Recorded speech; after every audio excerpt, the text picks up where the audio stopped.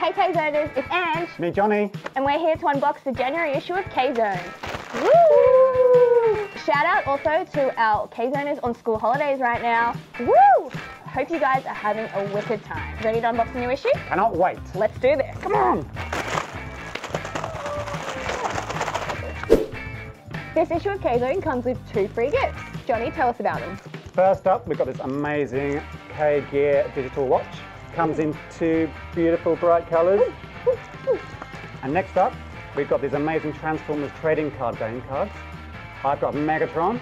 I've got, got Bombshell, which is pretty cool. So the cool thing about these guys is not only are they bigger than trading cards and you can collect them, but you can also use them to battle Autobots and Decepticons. Woo! So Ange, what's in this issue? This issue, we are going into a mega movie verse. All the big blockbusters, you'll find in this issue. You've got Spider-Man Into the Spider-Verse, Ralph Breaks Internet 2, Bumblebee, How to Train Your Dragon The Hidden World, Aquaman, and Stormboy. Whew! Like I said, mega movie verse.